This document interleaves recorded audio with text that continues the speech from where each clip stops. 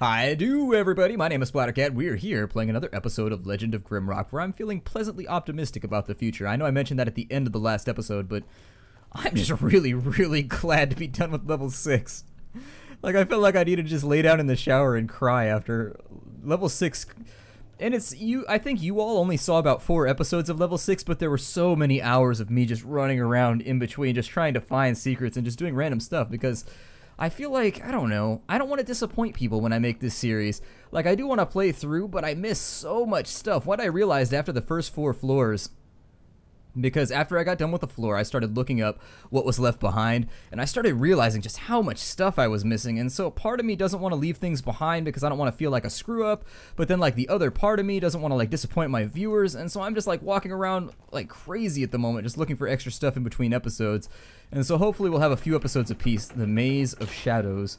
I suppose it could be the Maze of Shadows if they were trying to be especially classy, because everybody knows pronouncing things improperly makes you sound at least faux classy for a minute.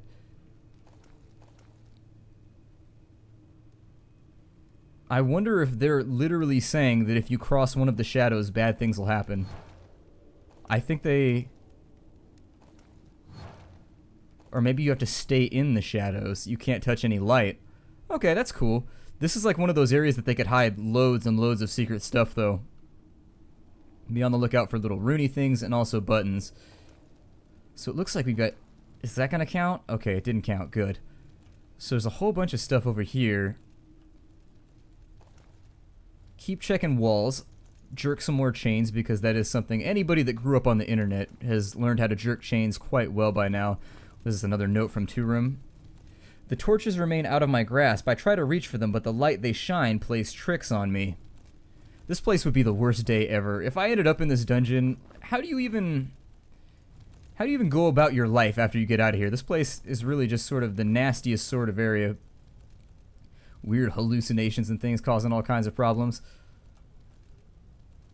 I don't see anything on the walls right here. I'm trying to be careful about not stepping into any... Oh, hello. A hardstone bracelet. Is that any good? Does it do anything? Protection plus one, higher attack power, slower cooldown.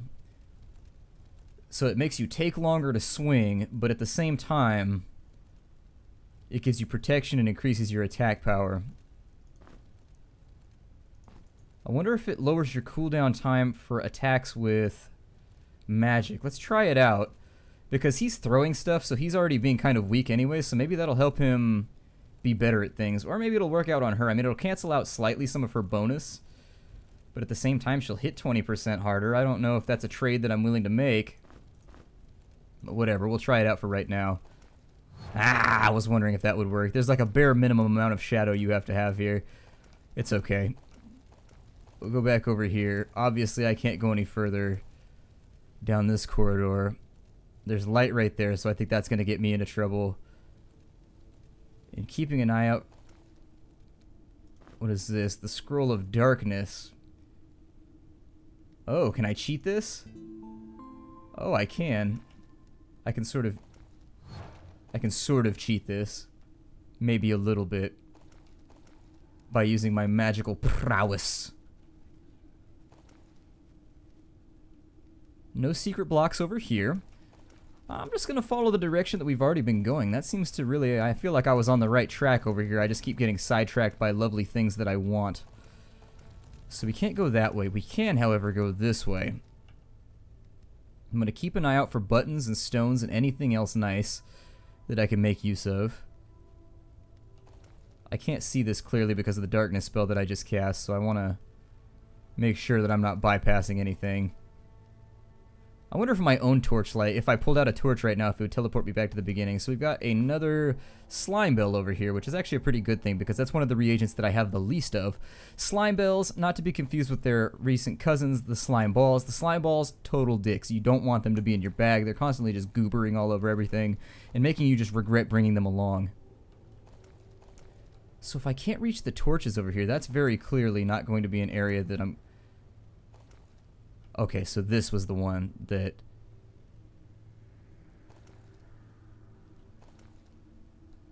I... Let's go for another darkness spell, maybe? Oh, the darkness is already activated.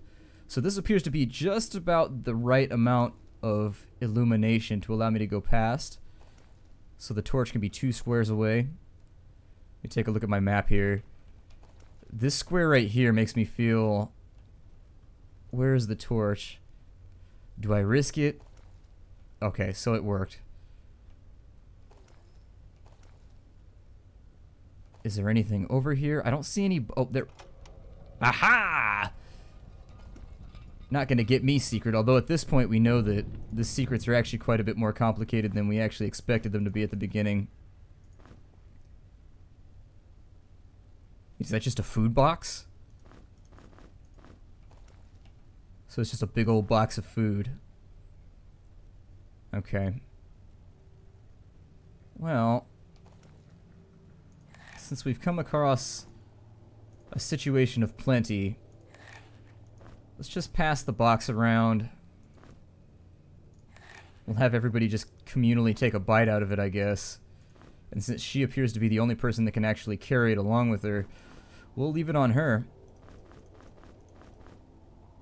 She's already over encumbered because of the shield.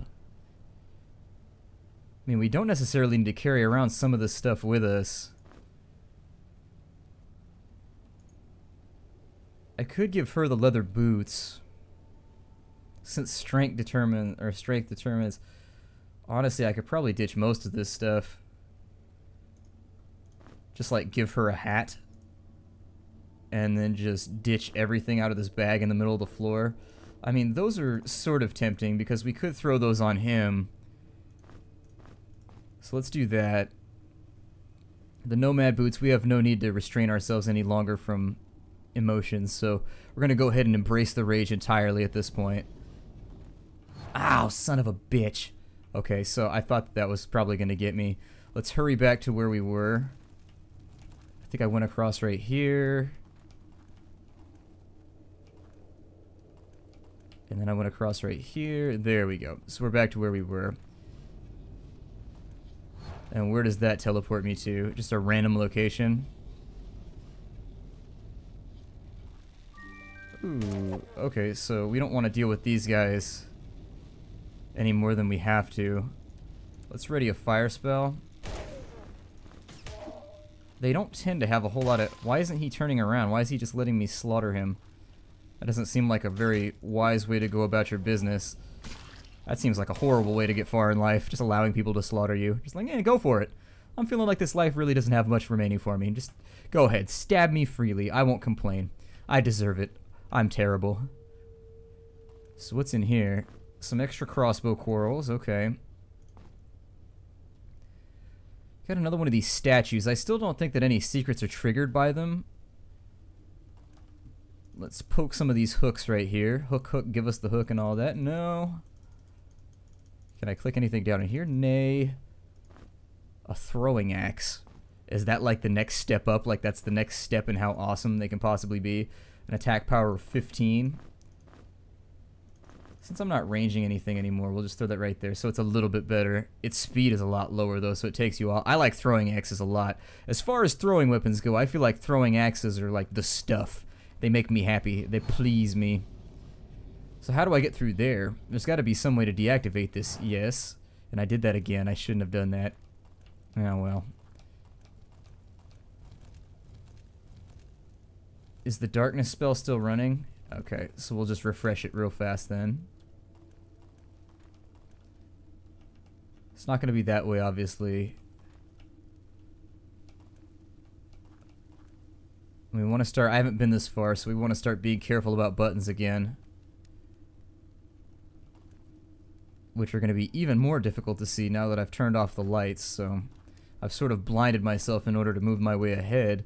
Kind of an interesting idea for a dungeon. You have to actually be more blind in order, and I apologize. I'll try and brighten this up in post, which I can do. I can add a little bit of gamma to make it look a little bit brighter so that you can all see what I'm doing, but I can't guarantee it'll fix the issue entirely. The best I can get it to is almost the level at which you are seeing me play the game.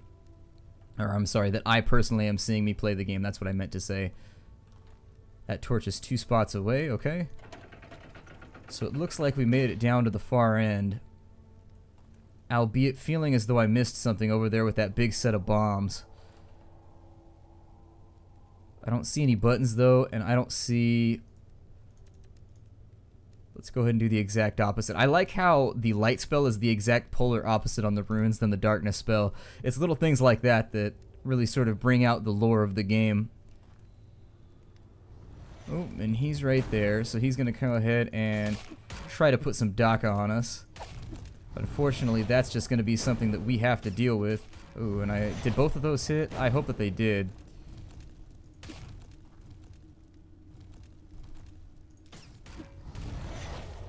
This would be one of those times that that would become useful.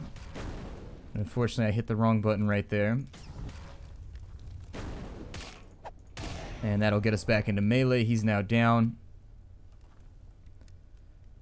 What the hell is that? It looks like there's like a black hole of... Oh, no, it's one of those receptacles. I thought that there was some kind of strange orifice inside of the wall. I suppose we'll continue looking at all of the walls here, although I don't want to fall down any holes. We've got a keyhole right there. Still clicking on all these chain-related accessories. Chains and chain-related accessories. That'll probably just open up that chasm right there. So nothing to worry about for now. I think the first thing we're going to have to focus on is getting that other door open. I'm going to stop using the light spell for a little bit. And we'll just start carrying some torches because I am noticing that I'm not doing very well when it comes to maintaining my weight. My weight problem right now, we're just, we have a serious, serious, a serious weight problem, although not of the kind that you would Please, oh, Christ. Okay, so we need to go right now. Oh my god, they're resisting so much damage right now. Okay, so we need to go. We need to run away and never be here again. We'll drink that. We'll drink that to get us back up to reasonable health. And the question becomes, do we stand our ground and come back?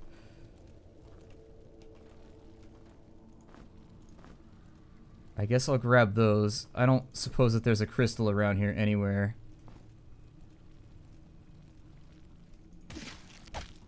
Ooh, a nice little crit right there. And we're diseased again.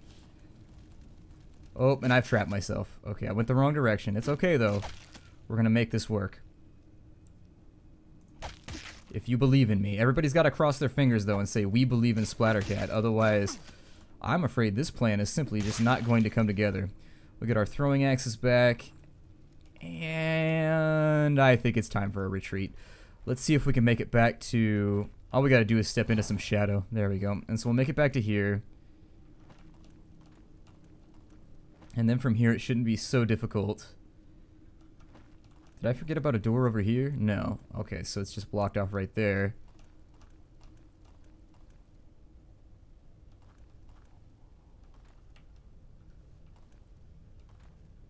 I'm still not sure how we tell what the windward side of all this is. I don't see a torch holder. Maybe a torch holder will tell us. Let's see if we can, before I go all the way back...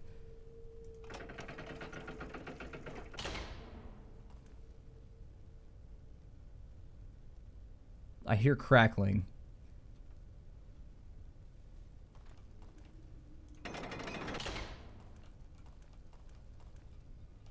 Oh. Okay, not bad, not bad. An extra suit of chainmail. Oh, ring greaves. Are those? I already have ring greaves, don't I? Okay, so those are gonna do me no good. Although an extra, what is this? A battle axe? Eh, not gonna do me any good either. Some extra throwing knives though, so I suppose that's something. 11 throwing knives at this point. We've got a pretty good collection of throwable pointy objects. Although, video games would have you believe that it's easy to throw knives. I may have talked about this already, but throwing knives is actually pretty difficult. My cousin had a set of throwing knives when we were kids. We sat around in his backyard, I think, for almost an entire summer, just throwing knives over and over and over again, just throwing knives, throwing knives, throwing knives. And eventually, when you were about seven to ten feet out, you could get it to stick. You would do two to three rotations, and that's where the trick lies. You've got to memorize how many rotations you need from every distance. And additionally, the harder you throw, you tend to put a little bit of extra English on top of it. If you, if that's an extra little bit of a wrist flick or kind of a rotation of the wrist as you swing harder and harder, harder, you do it on accident. I don't know if that's the only secret that's over here. I guess how we were supposed to know that this is the windward side really sort of confuses me still. And that closes that off right there, huh? All of the doors except for one. All of the doors except for one.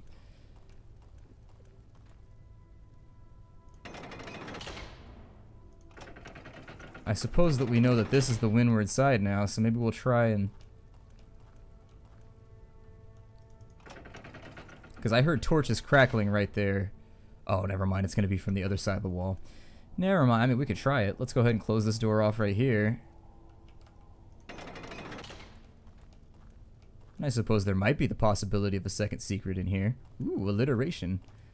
A second secret slithering in shadows. Well, the shadows doesn't count right there, but I did my best. A, sec a second secret slithering in slime. There we go. That's thematic. That goes along with what we've been facing over the course of this dungeon. Let's go ahead and use the darkness spell. Oh my god. That got really, really, really dark really, really fast.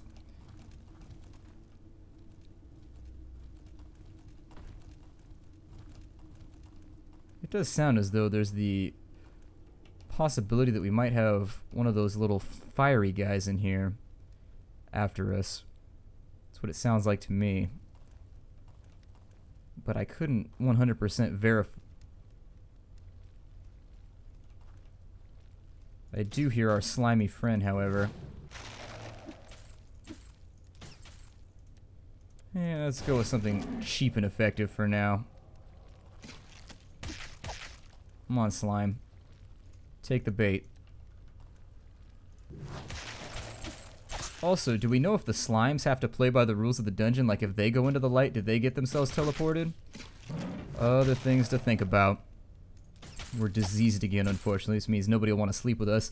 Luckily, there don't seem to be a lot of parties here. I mean, we've got to send... Gotta send emails, kind of frenzied emails to all of our previous girlfriends, at least Hedgerow Hank does, and be like, listen, you should probably get yourself tested. I got a disease from a slime down in the dungeon. Don't ask how it happened. It just sort of did. One thing led to another. My life was moving so fast at that point, and I really just needed a friend, and all that I could find down in the dungeon was that one slime. And so we sort of just hit things off appropriately, and that's about all I can say about it. Just just go to the doctor, get yourself tested. I mean, I don't I don't want to alarm you. I doubt that I had anything at the time. Just just go get yourself checked out at the clinique, which is just a more classy clinic. They've got a lot more weird decorations and things. They've got a lot more faux art sitting around. They've got a lot more kish up on the walls. So what does this do for me now? Am I in a new area? I'm in a new area. Sometimes I just gotta look at the map because I get all disoriented. Hey, what's up, buddy? Woo! Gonna start our friendship off like that, are we? Gonna start our friendship off like that. Didn't freeze him that time. Oh, that other one stepped in and took the blow for his friend. He's like, no! He tried to dive into the way, but he was too late. You never see that part of the action movie. When the hero dives in front of the bullet too late and it just hits the other person anyways, or like goes underneath their armpit and they're just like, well, damn. All that exertion seems kind of pointless at this point. Oh, good, there's more of you. That explains why I heard that sound. That explains why I heard that sound.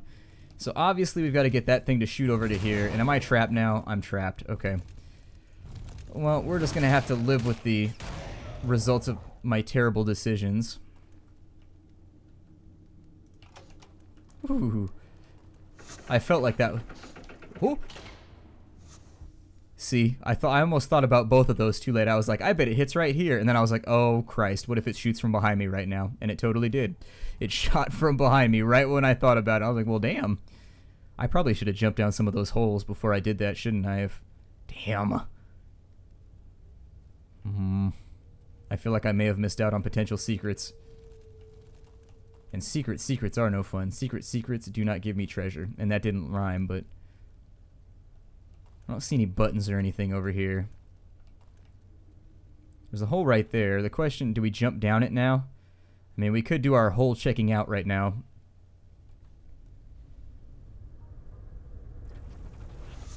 They keep all the machinery and mechanisms working in the dungeon all but one that sits in the tunnels below. It needs to be repaired so we can leave this place. Dot dot dot. Only a little bit further.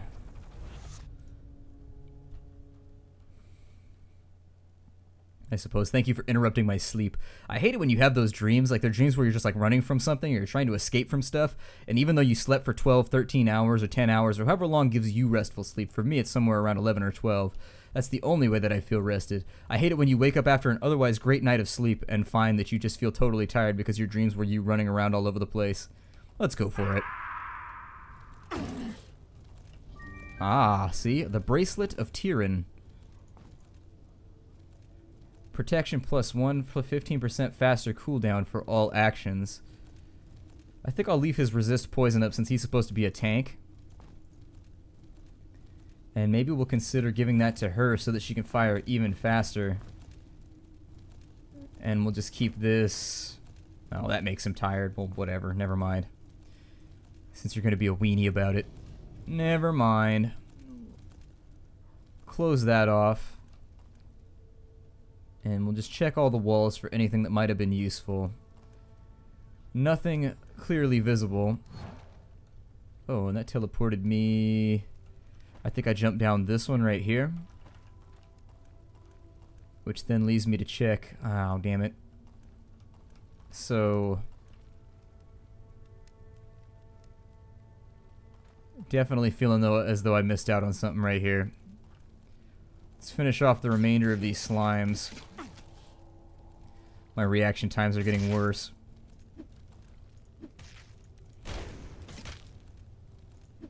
Oh, didn't want to do that. Didn't really want to do anything with my mage right now. There we go. So Hedgero's totally diseased once again. He just can't seem to keep himself from oozing, weeping, and secreting fluids. I assume that the disease you would get from a dungeon would result in you probably weeping fluids everywhere. I don't know for sure. Ooh, nice little combo right there. Eh, didn't duck out of the way in time. Oh well. What would you do? What would you do? Not try and duck out of the way in the first place, then. What is this? The Diviner's Cloak. Let's have a little look-see here. Oh, wow. Evasion plus 5, energy regeneration, and it lowers the amount of food that they need as well. That's pretty cool. Ditch that tattered cloak for Sholey. And what else can I get rid of in here? I mean, obviously I can get rid of some of the stuff that, some of the spells that I can't even use, that I'm never going to be able to use.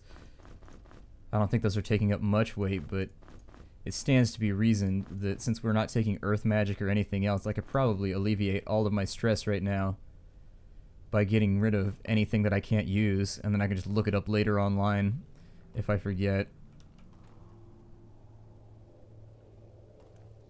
These panic rooms, they really do like to hide stuff from us. So I do think it's worth a look around. There's a beetle right there, just in case anybody's feeling hungry at the moment, because nothing says yum yum delicious like a beetle you found on the floor of a dungeon. Mm mm mm. Nothing gets my tummy a rumbling. Nothing gets my salivation started. Like a beetle off the floor of a dungeon. And so the final place that we need to be is over here. Oh. I stepped into the light on accident. Let's go ahead and kill off all the light one more time.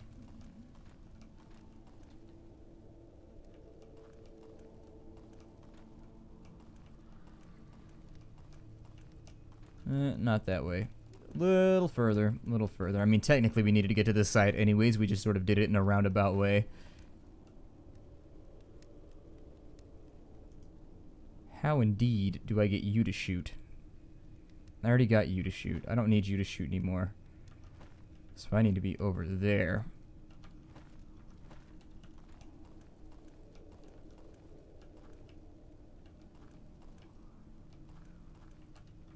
So this is the way that I didn't investigate? Alright, let's check it out. I didn't check the walls, hold on. I know, I know. I'm I, it's I'm trying to save you guys the effort of having to post you missed a secret on every single episode. That's the big thing is that every secret I miss, it seems like there's 150 comments just like, you missed a button, you dunce. They're like, all right, God, I'll try and... I kind of like how they're fluorescent a little bit. Like, they look definitely bioluminescent.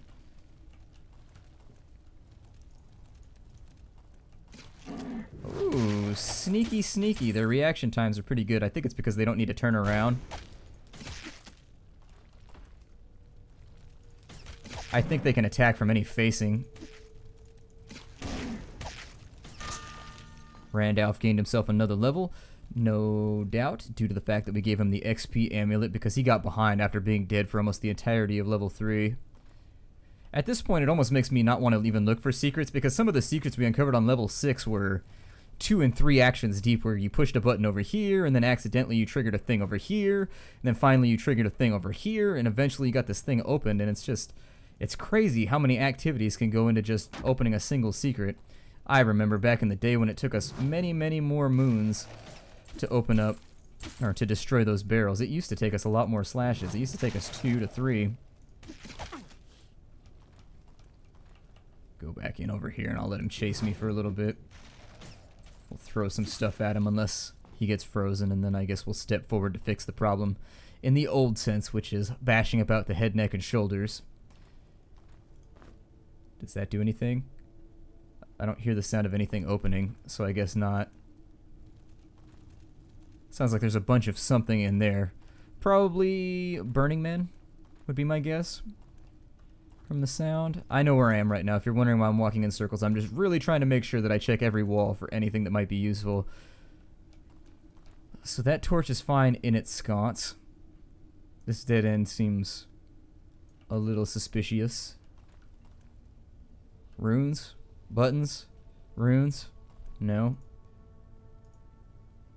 Let me ditch that torch right there. We'll light everything back up again.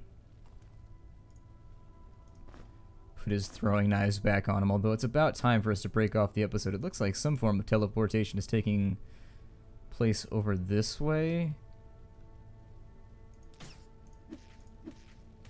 I think it's probably a decent plan just to sit back here and chuck stuff at him for a little bit.